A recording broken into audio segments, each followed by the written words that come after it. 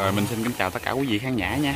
Bây giờ à, sau khi cưa xong mấy cái sau kia thì bắt đầu à, nghỉ ngơi một tí thì anh Sang sẽ bắt đầu leo lên. Tiếp tục cưa cái cây sau này.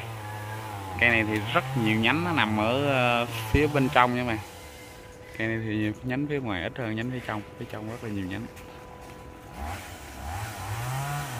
Giờ anh bắt thang anh leo lên à, tới cái nhánh thấp nhất rồi. Bắt đầu anh sẽ tẻ bớt Oh.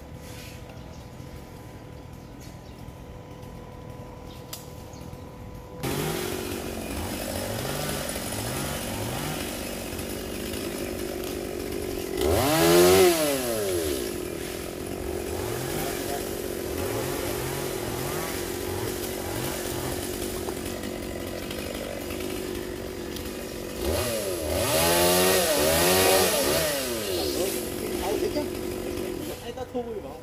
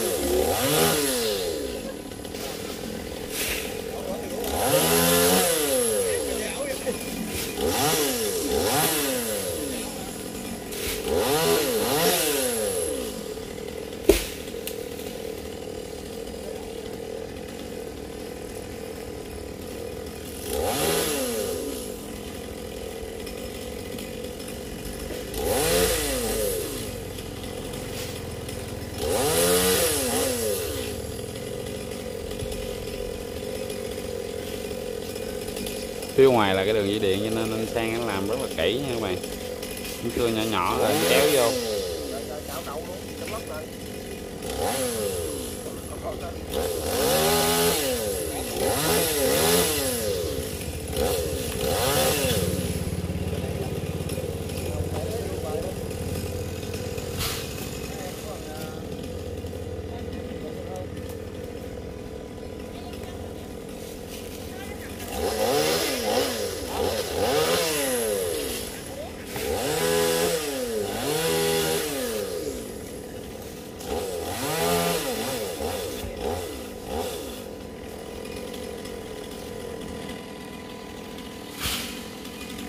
rồi, anh đã cưa xong cái nhánh đọt rồi.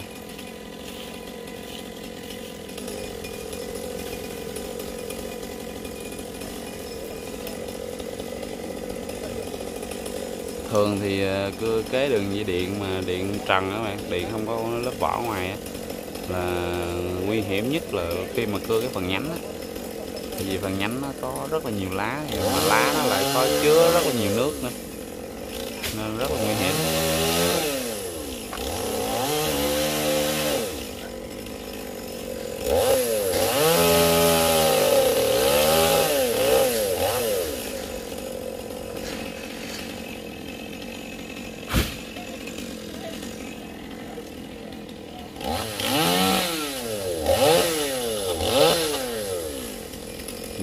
Giờ trại đã rồi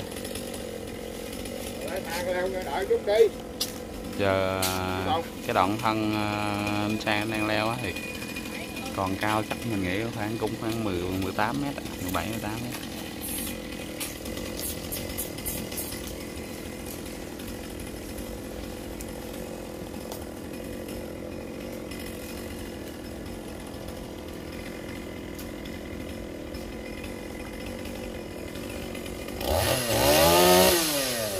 Còn một cái nhánh ờ, bị dướng lại, nó kẹt lại nha các bạn cái nhánh nó mắc kẹt lại.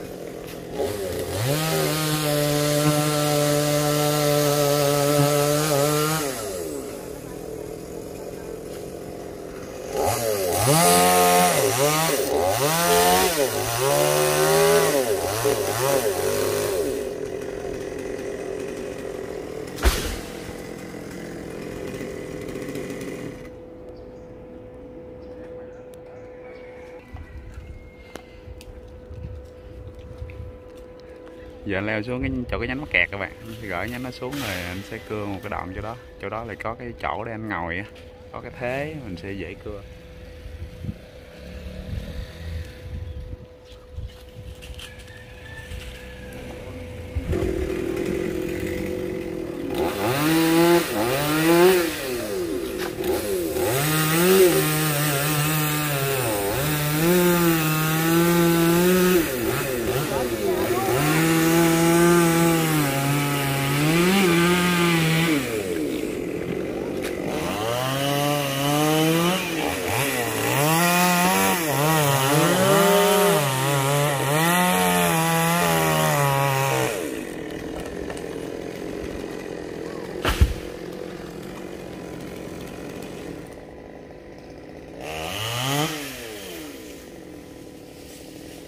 Anh sang lấy cái sợi dây à, anh đeo à, trên cái dây nãy giờ anh sẽ buộc vào cái đó nha mày tới đây thì chắc là phải buộc dây kéo rồi.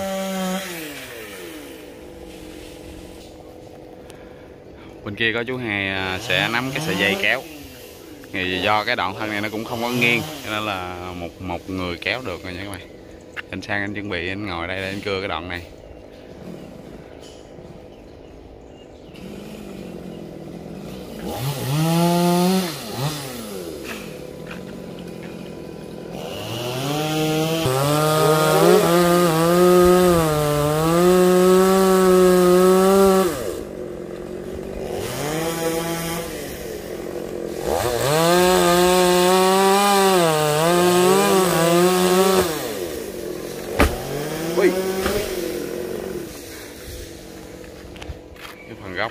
Vô cái hàng rào.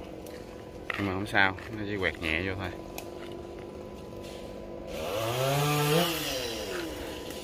Rồi giờ à, cưa như vậy là đã xong rồi nha bạn.